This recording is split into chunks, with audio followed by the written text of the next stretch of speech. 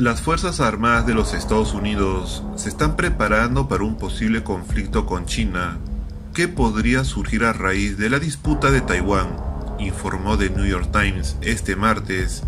El ejército estadounidense se transforma y sus cientos de miles de hombres y mujeres jóvenes se están entrenando para ello, indica el artículo. El Pentágono la llama una guerra entre grandes potencias y sería exponencialmente más peligrosa. Pondría a los dos ejércitos más fuertes del mundo, ambos superpotencias nucleares, en un conflicto directo, posiblemente involucrando a otros adversarios nucleares, entre ellos la República Popular Democrática de Corea y Rusia continúa. De acuerdo con el medio, una guerra chino-estadounidense podría convertirse en uno de los conflictos más letales de Estados Unidos. Sus soldados están entrenando intensamente para poder contrarrestar a las fuerzas enemigas, tanto en tierra como en mar, aire y en el espacio. A medida que aumentan las posibilidades de una guerra con China, el enorme y engorroso ejército estadounidense intenta remodelar sus tácticas, ya que las fuerzas chinas disponen de tecnologías más avanzadas que los adversarios de Estados Unidos en Afganistán y Oriente Medio. Por ejemplo, al tener satélites, podrán ver las formaciones de tropas desde el cielo, hecho que podría representar un obstáculo para las fuerzas del país norteamericano. Para ganar esa posible guerra, Washington está estudiando diferentes variantes de maniobra que le podrían dar ventaja, por ejemplo, al no poder establecer una superioridad aérea, sobre todo en el Océano Pacífico, su ejército buscará abrir corredores que le permitirían un movimiento fácil entre islas. Asimismo, a mediados de octubre finalizaron unos ejercicios en Hawái que tenían como objetivo principal reproducir las condiciones que las tropas pueden esperar en una guerra con China por otro lado, los militares estadounidenses están practicando nuevas tácticas que idearon al observar y analizar el conflicto ucraniano. En particular, aprenden a comunicarse entre sí sin utilizar satélites del ejército, para evitar que el adversario intercepte sus conversaciones, así como a dispersarse rápidamente en el terreno con ayuda de pequeños vehículos de infantería, y luego reuniéndose simultáneamente para atacar al potencial enemigo.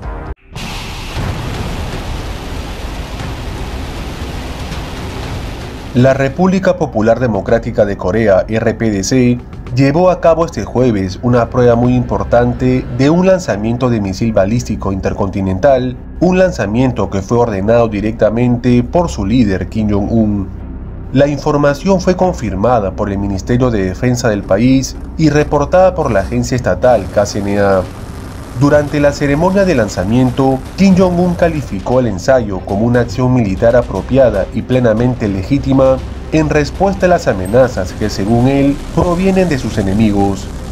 Las peligrosas medidas de nuestros enemigos para fortalecer la alianza nuclear y las diversas actividades militares que hemos presenciado recientemente resaltan aún más la importancia de reforzar nuestras fuerzas nucleares, subrayó el líder norcoreano.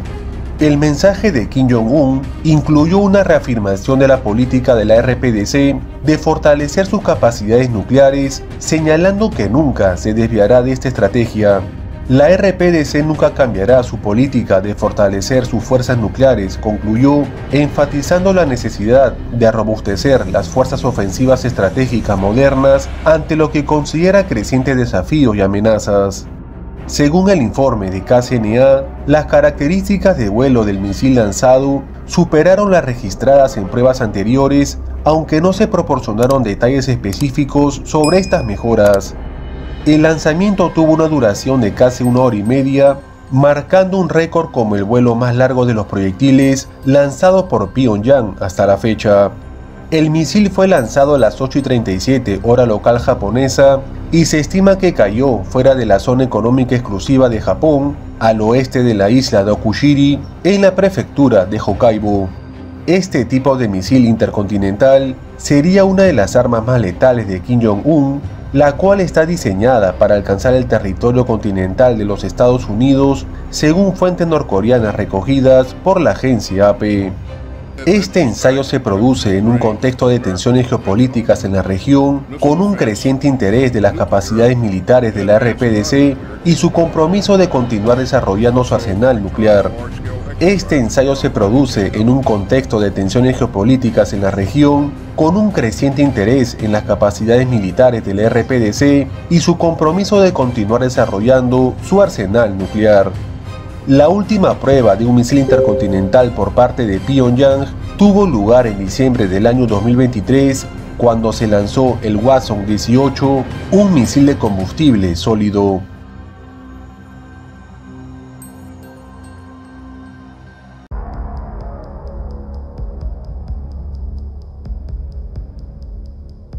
El presidente ucraniano Volodymyr Zelensky criticó este jueves la nula reacción de Occidente a las informaciones sobre el envío de tropas norcoreanas a Rusia para combatir junto con el ejército ruso contra Ucrania y advirtió de que Moscú incorporará más soldados de Corea del Norte si la comunidad internacional no toma medidas urgentes.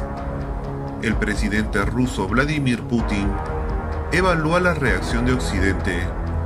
Putin evalúa la reacción de los países de la OTAN y también evalúa la reacción de Corea del Sur, dijo Zelensky en Kiev durante una entrevista con la televisión surcoreana KBS, que el jefe de Estado ucraniano ha publicado íntegramente en sus redes sociales. Zelensky ha agregado que si no ocurre nada, Vladimir Putin aumentará el número de soldados norcoreanos que llegan a Rusia para unirse al ejército ruso que lucha contra Ucrania. Y yo considero que la reacción de nuestros aliados al día de hoy es nula, declaró. Serán 3.000, 10.000 o pueden ser 100.000 y dependerá directamente de la reacción de Occidente. Si esta reacción es débil, serán más, recalcó el presidente ucraniano. En la entrevista también Zelensky repitió que unos 3.000 soldados norcoreanos ya han llegado a Rusia para luchar junto al ejército ruso.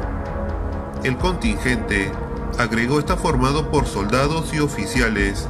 Ya se encuentran en campos de entrenamiento de la región rusa de Kursk, fronteriza con Ucrania. Rusia combate en esa región a las tropas ucranianas que ocupan desde agosto parte del territorio ruso. Tropas rusas protegen además la frontera con Ucrania para evitar nuevas incursiones. Zelensky, que insistió en la línea de anteriores declaraciones de Seúl y de Kiev, en que la primera hornada de militares norcoreanos que serán enviados a Rusia, de la que forman parte los de Kursk, podrían llegar a los 12.000, afirmó que los soldados norcoreanos aún no han entrado en combate pero que espera que lo hagan en esos días. Además, el jefe del Estado ucraniano, advirtió que Moscú y Pyongyang preparan también el envío de ingenieros militares norcoreanos a Rusia, donde dijo que también se espera que lleguen civiles de Corea del Norte para trabajar en la industria militar rusa. Zelensky también recordó que antes de enviar personal militar, Corea del Norte ya suministró a Rusia misiles y 3.5 millones de proyectiles de artillería. De acuerdo con la información que les he presentado, no se olviden de dejar sus comentarios y sus opiniones con respecto a esta noticia.